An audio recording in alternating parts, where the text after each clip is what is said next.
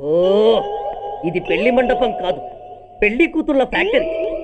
ఇండియాలో ఉండే పెళ్ళి కూతుళ్ళందరూ ఇక్కడే ఉన్నారు. ఇక్కడే ఇప్పుడే ఏదో ఒక అమ్మాయిని సెటప్ చేసుకుంటారు.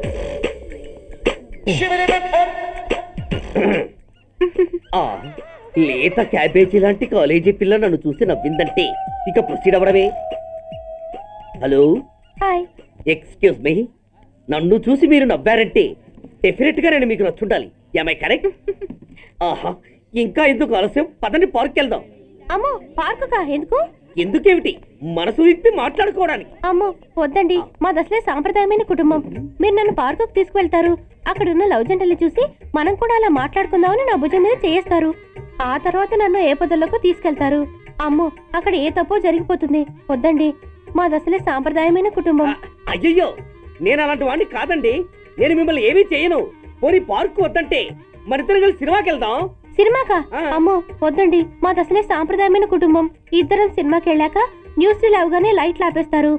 ఆ తర్వాత మీరు చిన్నగా నా భుజం మీద చెయ్యేస్తారు ఆ చీకట్లో లిప్ టు లిప్ కిస్ చేస్తారు. ఆ తర్వాత ఏ తప్పో జరిగిపోతుంది. అమ్మో వద్దండి. మాది అసలే సాంప్రదాయమైన కుటుంబం. అయ్యయ్యో ఆ మాటకొస్తే మా కుటుంబంలో సాంప్రదాయమే తప్ప అసలు కుటుంబమే లేదండి. నేను చాలా జెంటిల్మెన్ని ఎలిజిబుల్ బ్రహ్మచారిని. నేను మిమ్మల్ని చెయ్యను. మీ ఒంటి మీద అసలు చెయ్యే వెయ్యను. ప్రామిస్ నువ్వేం చేయనప్పుడు నీతో సినిమాకి పార్కుకి రావడం దేనికి రా! అమ్మో సాంప్రదాయమైన కుటుంబం. అంటే అర్థం ఇదా?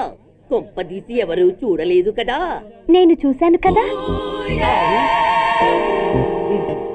పడక పడక నీ కంట్లోనే పడ్డానా తల్లి? నేనెవరికి చెప్పను గాని? నాకు ఇన్ఫర్మేషన్ ఇస్తావా? ఏమిటది? పెళ్ళైందా? నాకా? ఛీ నీ కాదు. ఆయనకి. ఆయనక ఓహో మా గురుడికా? అవును. అయ్యింది. పదమూడేళ్ళ కొడుకు పదేళ్ళ కూతురు. నిజమా? ఉండి ఉండుండేవారు. మనం చెప్పినప్పుడు వారు పెళ్ళి చేసుకుని ఉంటే! ఎందుకు కొట్టావు? ఆయనకి పెళ్ళైందని చెప్పి అనవసరంగా నన్ను టెన్షన్ పెట్టినందుకు. ఆయనకి పెళ్ళైతే నీకెందుకమ్మా టెన్షను?